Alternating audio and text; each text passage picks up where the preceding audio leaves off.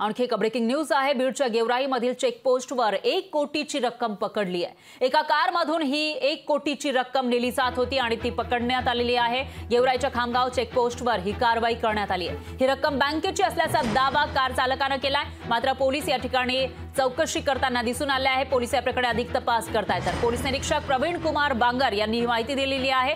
सध्या आचारसंहिता लागू आहे आणि त्या पार्श्वभूमीवर प्रत्येक चेकपोस्टवर प्रत्येक गाडीची चौकशी केली जाते तपासणी केली जाते आणि त्याच पार्श्वभूमीवर बीडच्या गेवराईमधील चेकपोस्टवर जेव्हा एका गाडीची तपासणी केली होती त्यावेळेला तब्बल एक कोटींची रक्कम सापडलेली आहे आणि ही रक्कम बँकेची असल्याचा दावा या ड्रायव्हरनं केल्याची माहिती समोर येते आणि पोलीस या प्रकरणाचा अधिक तपास करत आहेत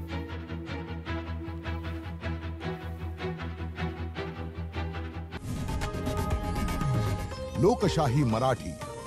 ऐका पहा जागरूक रहा.